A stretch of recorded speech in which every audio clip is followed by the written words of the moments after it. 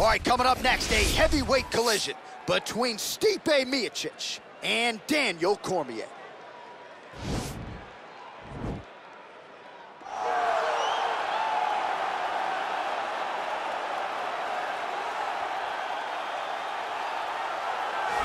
Well, it's a short list of men and women who have held UFC belts simultaneously in two divisions, and God damn it, DC, you're on that list, man. Let's see how it goes for you here tonight, though.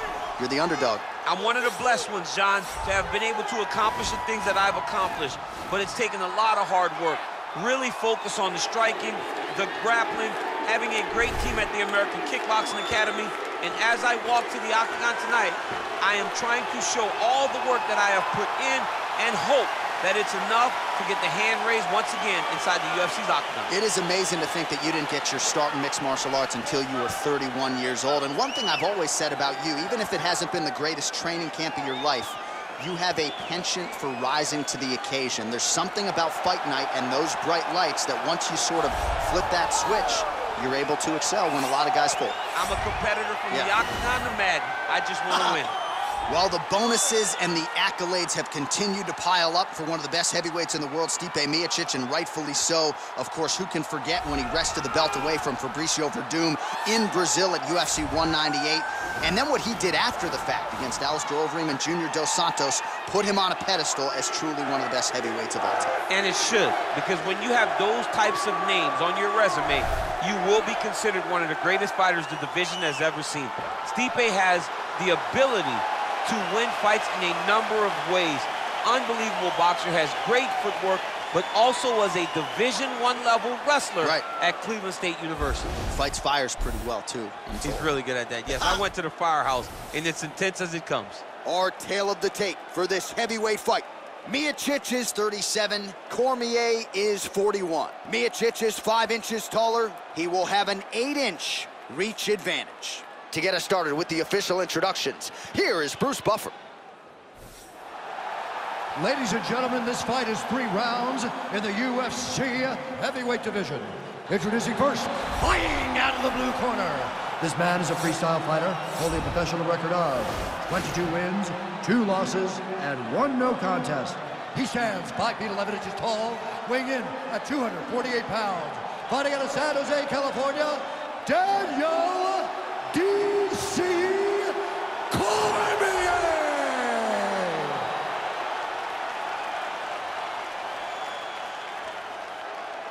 And now introducing his opponent, fighting out of the red corner. This man is a wrestler, holding a professional record of 19 wins, 3 losses. He stands 6 feet 4 inches tall, weighing in at 240 pounds. Fighting out of Independence, Ohio, Stipe Miocic.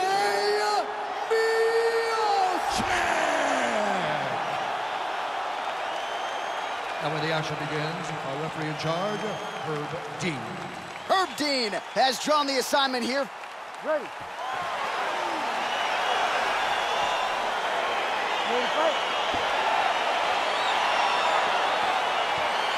All right, here we go, round one. Stipe Miocic, Daniel Cormier. This is a fight we have seen before. A lot of fun. Whoa! really using his reach advantage there as he lands the punch, DC. Stuffs that takedown attempt without issue. Oh, big left.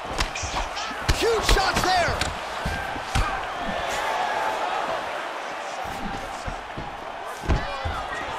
Oh, stuffs the takedown without issue. And now he's got that tight.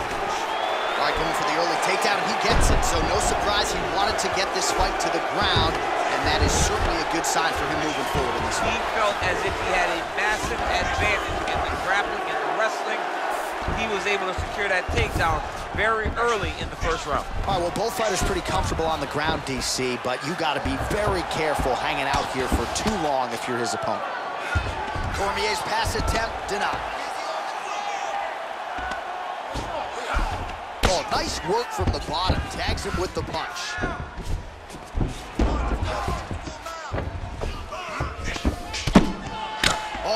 Combination of ground and pound strikes here, DC. This could be the beginning of the end. I mean, you got to be very careful when you take these big ground and pound strikes. You need a controlled posture on the bottom, and if you're the top guy, the guy that's looking to finish, continue to gain posture and rain down big strikes at your opponent. Nowadays, you see guys just throwing little shots that don't really matter. Very few guys now are committed to ground and pound as they were in the past. Just over two minutes to go in the round.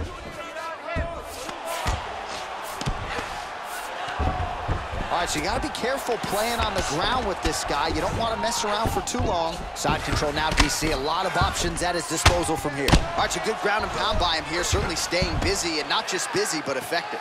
You can just throw punches to keep the referee off you. This guy is throwing punches to be effective, to throw damaging strikes. He's doing a fantastic job. Well, there are a few things more fun to watch in mixed martial arts than these type of transitions and scrambles on the ground. High-level grappling can really be entertaining. Miocic's eye really starting to close up. Got to get that Enswell on it between rounds if we get there. All right, he's sort of hanging out here unguarded, DC. Not sure if he's trying to bait him in or what, but not great body language here. All right, side control now.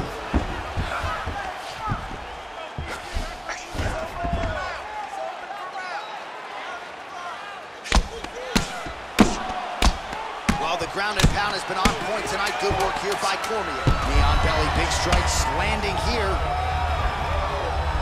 The horn sounds for the end of round one. While the round is over and blood is just fauceting out of this cheek. That cheek has gotten out of control. Cutman can only do so much, and given the fact that that cut continues to be attacked by the opponent, if this thing gets any worse, they're going to stop this fight.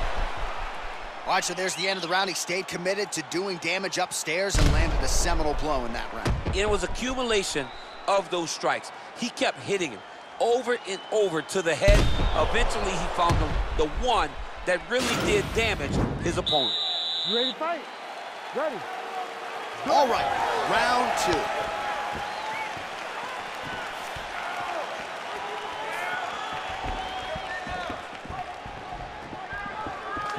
And he connects there, DC. Great job landing that punch.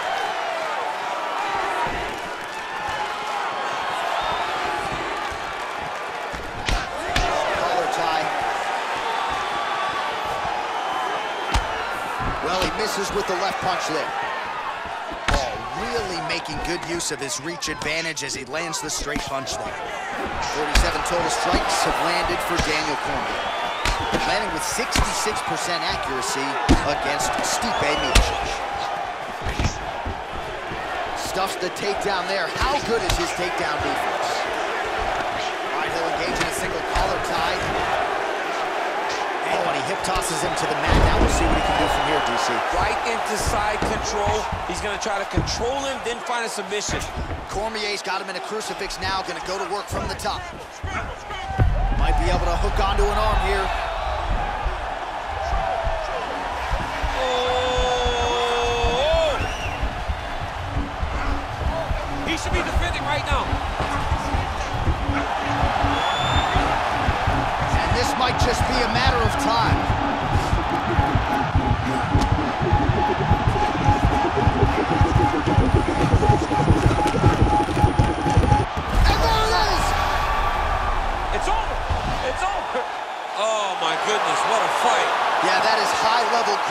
Right there as he gets the win tonight here by way of submission, and he bided his time there. He stayed patient, waited for an opening, and then when it was there, he certainly capitalized to get the tap here tonight. All right, so there's the horn. Let us now look back at some of the action in that round, DC, and he had his takedown game going early often. Yeah, he had it going great. I mean, he did a great job of finding his entries, rushing to his finishes before his opponent could react and defend him he should be very proud of the work he did over the course of that last round. All right, let's take a look back at the replay as he gets it done by submission tonight, champ. He was able to get the fight to the ground exactly where he wanted it. Eventually, his opponent gave him an opportunity to get a submission. He did that, and he should be very proud of the work he did tonight in the octagon. Ladies and gentlemen, referee Herb Dean has called a stop to this contest at 2 minutes, 31 seconds of round number two. Declaring the winner by tap out, Daniel D.C. Cormier. All right, right, so what a performance by this young man here tonight as he gets the win by way of submission. He certainly put a lot of stock into getting the finish tonight, and he did just that. Congratulations. It was very tough fight, but he knew that if he did everything right, he can get to his position, which is the ground, and he would be able to find a finish by submission tonight. He did just that.